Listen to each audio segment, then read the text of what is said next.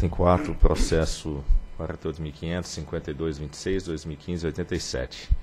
Ajuste do artigo 2 da Resolução Normativa 392 de 2009 e atualização da tarifa de energia de otimização de Itaipu, da curva de custo de déficit de energia elétrica e dos limites mínimos e máximos do preço de liquidação de diferenças a vigorar a partir de 1 de janeiro de 2016. Diretor relator, doutor André Pictoni. Senhores diretores, tem uma minuta disponível na área de trabalho. A única diferença do SharePoint é o dispositivo. Então, até peço o doutor Romeu para proclamar o uso da área de trabalho. Os demais vocês podem acompanhar pelo SharePoint. Então, o, o artigo 22 do decreto 2655, de 2 de julho, estabelece que o custo do déficit de energia elétrica deve ser levado em conta para determinar os preços do mercado de curto prazo, bem como sujeitar a energia transacionada pelas usinas participantes do MRE à aplicação de encargo, com base em tarifa de otimização destinado à cobertura do custos incrementais de operação e manutenção dessas usinas e também ao pagamento da compensação financeira por usar recursos hídricos. Então ele se serve para dois pontos: operação e manutenção e compensação financeira para energia transacionada no MRE. Com o custo variável de produção da usina hidrelétrica de Itaipu, são diferentes dos demais, das demais usinas, definiu-se então que haveria um valor de TEL para os dois conjuntos de usina. Um para o universo do MRE, com critérios de cálculo estabelecidos na Resolução 392-2009, e outra TEL de Itaipu. A mais recente atualização da TEL e a TEL de Itaipu foi promovida em dezembro de 2014 pela Resolução Homologatória 1840, quando se estabeleceu a vigência para o ano de 2015 da TEL em 11,25 e da, da TEL Itaipu de R$ 17,01 por megawatt-hora. E o decreto 5163, ele estabelece competência da ANEL para definir o valor máximo do PLD, observados os custos variáveis de operação dos empreendimentos termoelétricos disponíveis para despacho centralizado. Já o valor mínimo do PLD será calculado pela ANEL, considerando os custos de operação e manutenção das usinas hidrelétricas bem como os relativos à compensação financeira por usar os recursos hídricos e os royalties. Então, a resolução 682 de 23 de dezembro de 2003 define os procedimentos para atualizar a curva do déficit de energia elétrica e o limite máximo de preço no mercado de curto prazo. A resolução normativa 392 de 2009 também regulamenta os critérios para calcular o valor mínimo do, do PLD. E observa-se que a resolução 1832 de 25 de novembro de 2014 ela homologa os limites do PLD, sendo o mínimo R$ 30,26 e o máximo R$ 388,48. E a resolução homologatória 1837 apresenta os valores da, da curva do custo do déficit de energia, ambas com vigência em 2015. Então, esse processo aqui é uma cesta de definição. Né? Nós vamos estabelecer TEL, TEL de Itaipu, os patamares do custo de déficit, os patamares do PLD mínimo e máximo. Saliento que em 23 de novembro de 2015 o processo foi distribuído por sorteio a esta relatoria e que após a instrução processual promovida pela SGT, pela SRM e pela SRG, mediante uma nota técnica conjunta de número 332, datada de 10 de dezembro, as superintendências analisaram a matéria e apresentaram então a proposta do estabelecimento da TEL, da TEL de Itaipu, da curva do custo de déficit e dos limites do PLD que vão vigorar no ano de 2016. Ademais, senhores diretores, as superintendências também recomendaram um ajuste diante de erro material identificado na, no artigo 2 da Resolução 392 de 2009. Então, aproveitar essa instrução para promover esse ajuste. No fundamento, terei condições de detalhar. A Procuradoria Federal da ANEL conheceu dos minutos de resolução e a chancelou é o relatório. Procuradoria. A competência para fixação da TEL está prevista no artigo 22 do decreto 2655 e para fixação do PLD máximo e mínimo nos parágrafos 2 e 3 do artigo 57 do decreto 5163 de 2004. O cálculo dessas tarifas envolve é, juiz eminentemente técnico Então, a, a Procuradoria conheceu das minutas de resolução e concluiu que, do ponto de vista estritamente jurídico, não há óbice à expedição dos atos administrativos. Então, sobre a TEL e a TEL Itaipu, a, a TEL é calculada visando cobrir os custos incrementais de OIM das usinas hidrelétricas e o pagamento da compensação financeira referente à energia tradicionada no MRE, como já falamos no relatório e é composta por parcelas relacionadas a esses dois itens. Então, a parcela relativa à cobertura da compensação financeira referente à energia transacionada no MRE é atualizada em função do reajuste da TAR, que é a tarifa anualizada de referência, que é utilizada para valorar a compensação por usar os recursos hídricos. A resolução 66 de 2001 regula a TAR, regula que a TAR seja reajustada anualmente com base em indicador econômico ajustado às especificidades do serviço de energia elétrica ser determinado pelo ANEL e que o seu valor seja revisto a cada quatro anos. O mais recente reajuste da TAF foi realizado em 24 de novembro de 2015, pela Resolução 1990, e fixou-a em R$ 93,35 por megawatt-hora para o ano de 2016. E para a atualização, usou-se o IPCA acumulado de outubro de 14 a setembro de 15 conforme apresentado na nota técnica 270 da SGT. Para atualizar a parcela de OIM, as unidades organizacionais recomendaram na nota técnica 332 aplicar o percentual de 9,49%, referente ao IPCA acumulado de outubro de 14 a setembro de 15, e opinaram que a TEL para 2016 fosse fixada em R$ 12,32 por megawatt-hora, o que representa elevação de 9,51%, cuja composição está detalhada na tabela 1. Então tem a parcela do OIM, a, o IPCA, o OIM de 2016, a, a ATAR e o, a, a TEL, então, chegando a R$ 12,00 e arredondando com duas casas, 32 centavos. Então ela passa de 11,25 para 12,32, em outras palavras. E com os custos variáveis da produção de Itaipu são diferentes das demais usinas, então definiu-se que haveria o valor da TEL diferenciado para Itaipu. O item 2 do artigo 3 do caput da Resolução 392 fixa os critérios do cálculo da TEL de Itaipu.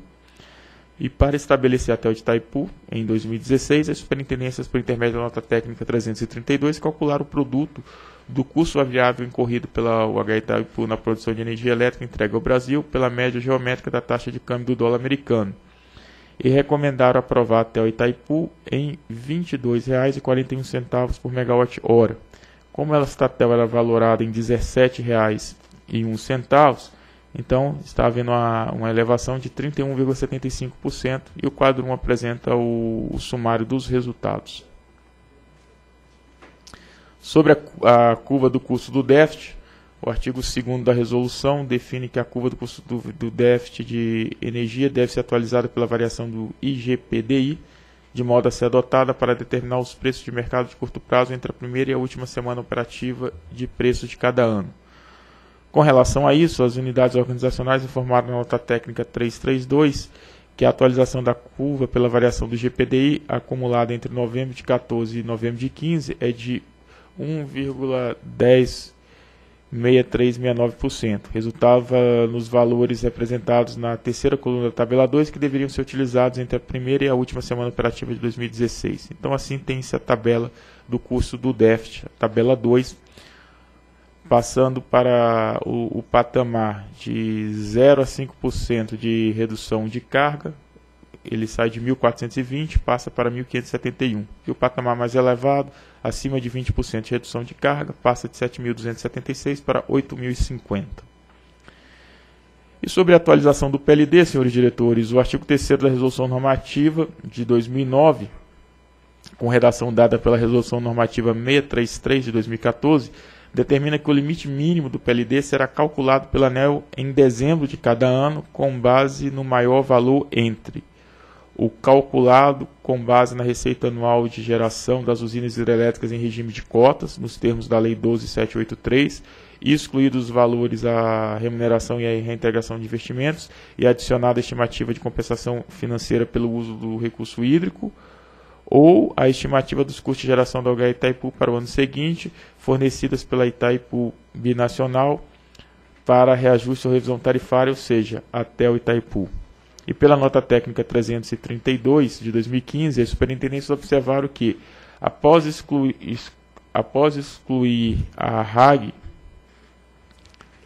os valores relacionados à remuneração e à reintegração de investimentos e adicionar o relativo à expectativa da CEFU, obtiveram o valor de R$ 30,25 por megawatt-hora, superior ao da TEL de Itaipu de 2016, que é de R$ 22,51 por megawatt-hora, razão pela qual sugeriram que o limite mínimo para o PLD 2006 fosse fixado então em R$ 30,25, o que denota que será aplicado o valor praticamente igual ao que vigorou em 2015, que era R$ 30,26. E agora sobre o PLD máximo, nós temos que o artigo 3 da 682 define o valor máximo do PLD e que será calculado pela ANEL em dezembro de cada ano, com base na CVU mais elevado da usina térmica em operação comercial a gás natural, contratada por meio de contrato de comercialização de energia elétrica no ambiente regulado. Definido no PMO de dezembro e aplicado entre a primeira e a última semana operativa do, do ano subsequente para todos os submercados após examinar as informações apresentadas pela CCE quanto aos valores dos CVUs das usinas que negociaram energia nos leilões de energia nova, a superintendência informaram na nota técnica 332 que a UTE Mário Lago, que é também conhecida como Macaé Merchan, tem um CVU de R$ 422,56 por megawatt-hora. E era este o que atendia aos critérios do artigo 3 da Resolução Normativa 682. Logo, a aplicação do critério técnico conduz a um valor de PLD para 2016, então, de, o de PLD máximo de R$ 422,56 por megawatt-hora, o que eleva o valor atual em 8,77%. Então, esses são os novos patamares que vão vigorar no mercado. E aqui é o ajuste que mencionava, senhores diretores. Então, para melhor compreender o tema, transcreve-se o artigo 2 e 3 ambos da Resolução 392 onde o artigo 2 diz que, para fins de valorar a seção de energia de que trata o artigo 1, a CCE deverá considerar o valor da TEL Itaipu igual ao PLD mínimo. E o artigo 3 vigente define que o PLD mínimo será calculado pela ANEL no mês de dezembro de cada ano, com base nas estimativas de custo de geração da usina para o ano seguinte, fornecido pela Itaipu Nacional para fins de reajuste ou revisão.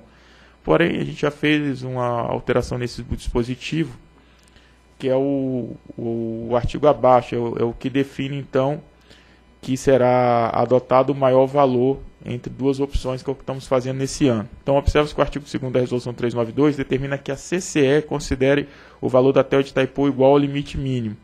E o artigo 3 disciplina a forma de cálculo do PLD mínimo. E com a publicação então da 633, isso foi alterado. E a redação que prevalece é, é a redação do artigo 3 da Resolução 392 e então deve-se fixar o limite mínimo do PLD, ele seria estabelecido com base no maior entre a RAG, excluída a remuneração e a CEFU, e a estimativa de custo ao Itaipu. Então é esse mero ajuste. Ocorre que naquela ocasião, por erro material, não foi simultaneamente alterado o artigo 2 da norma, que permanece fixando a igualdade entre TEL, Itaipu e PLD mínimo, o que não mais se aplica, haja vista que o limite do PLD tanto pode ser função da RAG quanto da TEL de Itaipu, é o maior valor. Assim, as unidades organizacionais, por considerar a existência de erro material apontado, recomendaram que fosse alterada a redação do artigo 2 da Resolução 392 para compatibilizar com o normativo vigente. E por se tratar de mera correção de erro material, julga-se que o ajuste proposto deve ser aprovado com a redação que está exposta em tela. A partir de tal análise das considerações apresentadas no processo 48.500.00.5226.2015-87, voto pela emissão de resolução homologatória, minuta anexa, fim de. Então, primeiro, estabelecer o valor da TEL em R$ 12,32 por megawatt-hora, com vigência a partir de 1 de janeiro, para valorar a energia elétrica transferida entre usinas participantes do MRE no âmbito da CCE. Segundo, estabelecer o valor da tarifa de energia da usina hidrelétrica Itaipu em R$ 22,41 megawatt-hora, com vigência também a partir de 1 de janeiro para valorar a energia elétrica gerada pela usina hidrelétrica Itaipu comercializada no âmbito do MRE, do homologar os PLDs, então o um mínimo em R$ 30,25 e o um máximo em R$ 422,56, e homologar também os patamares da curva do custo do déficit, conforme os valores constantes então são quatro patamares, então nós estamos aqui homologando os novos valores para cada patamar. É o voto. Ah, perdão, e vota ainda pela emissão de resolução normativa, minuta anexa, para alterar, então, o que dizíamos, a redação do artigo 2 da resolução 392 de dezembro de 2009. É o voto. Em discussão. Em votação. Eu voto com o relator. Eu também voto com o relator. Também voto com o relator. Também voto com o relator e proclamo que a diretoria decidiu por estabelecer o valor da tarifa de energia de otimização TEL em R$ 12,32 por megawatt-hora, com vigência a partir de 1 de janeiro de 2016, para valorar a energia elétrica transfer, é, transferida entre as usinas participantes do MRE no âmbito da CCE. Também estabelecer o valor da tarifa de energia de otimização da usina de elétrica Itaipu, TEL, Itaipu, em R$ 22,41 por megawatt-hora, também com vigência a partir de 1 de janeiro de 2016, para valorar a energia elétrica gerada pela usina de Itaipu no âmbito do mercado de relocação de energia MRE. E também homologar os limites mínimos e máximos do PLD conforme os valores constantes da tabela, ou seja, o PLD mínimo passa a R$ 30,25 por megawatt-hora e o PLD máximo passa a R$ 422,56. E por último, também, eh, ainda não por último, mas também homologar o, o, a curva de custo do déficit de energia elétrica conforme os valores constantes da tabela, ou seja, no intervalo de 0 a 5 de R$ 1.571,42 por megawatt-hora, no intervalo de 5 a 10, R$ 3.398 centavos, no intervalo de 10 a 20, R$ 7.084,98 centavos e acima de 20% de R$ 8.050,39 centavos. E também decidiu pela emissão de resolução no sentido de alterar o, o artigo 2 da Resolução 392 de 2009, conforme já explicado pelo relator. Próximo item.